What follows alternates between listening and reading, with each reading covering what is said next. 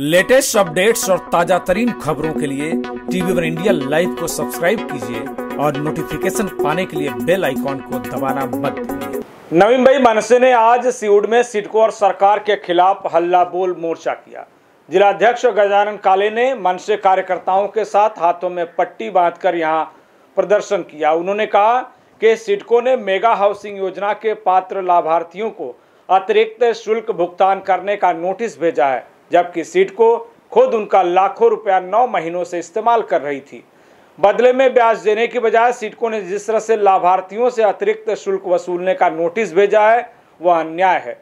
गजानन काले ने कहा कि यदि अतिरिक्त शुल्क तत्काल माफ़ नहीं हुआ तो मन से पालक मंत्री और सिडको के खिलाफ तीव्र आंदोलन करेगी। बता दें कि सिडको एक जुलाई से मकानों का पजेशन देने की तैयारी में है।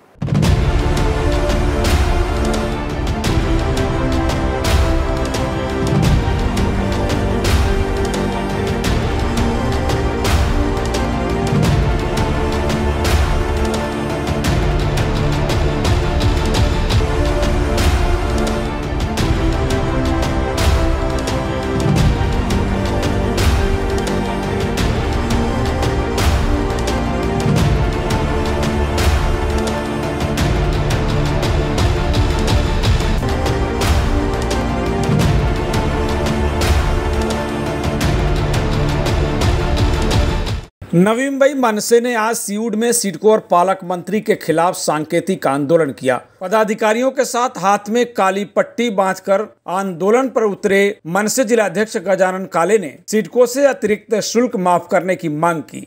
असल में सिडको मेगा हाउसिंग योजना के पात्र मकान धारकों को आज एक जुलाई से पजेशन देने वाली थी, लेकिन उससे पहले पचास से पचपन हज़ार का अतिरिक्त शुल्क मांग रही है।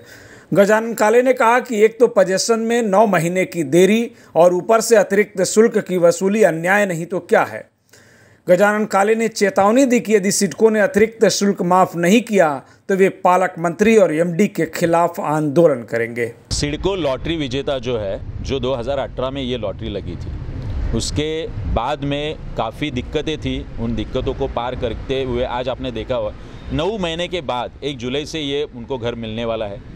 लेकिन जो फिफ्टी एट थाउज़ेंड रुपीज़ है, वो माफ़ किए जाए, क्योंकि नौ महीने पहले ही ऑलरेडी आप एक एक साइड में आप देखेंगे तो घरों घरों जो रेंट जो है, वो भी चालू है बैंक जो है, उसका भी ई चालू है। ये सब गोर गरीब लोग हैं, राज्य सरकार रहे या सिडको रहे, थोड़ी संवेदनशीलता आप दिखाइए और ये माफ़ कीजिए, इसलिए ये आंदोलन शांति से था, इसके बाद का जो आंदोलन है, वो शांति से हम लोग नहीं करने वाले। नहीं नहीं, देखिए, अगर आज तो हम लोग काफ़ी शांति से आंदोलन किया है। सिडको के जो लॉटरी विजेता है उन्होंने घरों में बैठकर आंदोलन किया है। लेकिन यह आंदोलन शांति से नहीं होगा। सिडको के दरवाजे पर जाके और एकनाथ शिंदे साहब के घर पर जाके ही ये आंदोलन रुकने वाला है। वहीं एक पात्र लॉटरी धारक ने कहा कि सिडको उनसे मकान के बदले लाखों की रकम वसूल चुकी है, लेकिन नौ महीने से पजेशन नहीं मिला है। ज़ाहिर है सिडको आवेदकों के लाखों रुपए का इस्तेमाल कर रही है, जिसका उसे ब्याज देना चाहिए। लेकिन सिडको है कि उल्टे पात्र लॉटरी धारकों से अतिरिक्त शुल्क वसूल रही है, जो खुला अन्याय है। आवेदक ने कहा कि लॉकडाउन की इस मंदी में कोई भी ज़्यादा पैसा चुकाने की हालत में नहीं है। ऐसे में यदि इसे माफ़ नहीं किया गया तो वर्षों तक हज़ारों आवेदक घर नहीं ले सकेंगे। अभी हमारी बस इतनी डिमांड है जो हम लोग ने कोरोना काल में जो पैसा भरा है पेनल्टी भरी है आ, लेट पेमेंट करने की वजह से जो करीब तकरीबन पचास साठ सत्तर हज़ार तक है वो हमको जल्द से जल्द दिए जाए और हम लोग का जो इतर चार्ज अदर चार्ज बोल रहे हैं वो हम लोग से ना लिया जाए क्योंकि हम लोग के पास अभी पैसे नहीं है। बहुत जन के जॉब गए हैं बहुत ज, बहुत जन के बहुत जन के जॉब गए हैं बहुत जन का आधा सैलरी हो गया और जो सड़कों में जिस जिस जिसने घर किया है वो कोई बड़े आ, अमीर आदमी नहीं है। Bureau report TV one India.